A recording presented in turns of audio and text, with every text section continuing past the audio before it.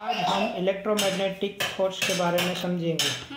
ये बलून है, जिसको बाल में घिसने से बाल की सरफेस में जो इलेक्ट्रॉन रहता है, वो बलून के अंदर लग जाते हैं। इससे बलून के अंदर एक इलेक्ट्रिक फ़ील्ड जम क्रिएट होती है। तो क्या होता है, वो किसी भी चीज़ को अपनी तरफ़ आकर्षित करता है। तो जब ये बलून को बाल में घिसेंगे तो इलेक्ट्रॉन्स इसके ऊपर लग जाएँगे, फिर ये बलून को जहाँ लगाएँगे, वहीं पे ही चिपकता रहेगा। चलो करो प्रैक्टिकल बताओ। अभी इसको दीवार पे लगाओ। छोड़ दो। देखा, ये कैसे दीवार पे चिपक गया? अभी इसको अपने बाल पे लगाओ। लगा के रख दो, छोड़ दो।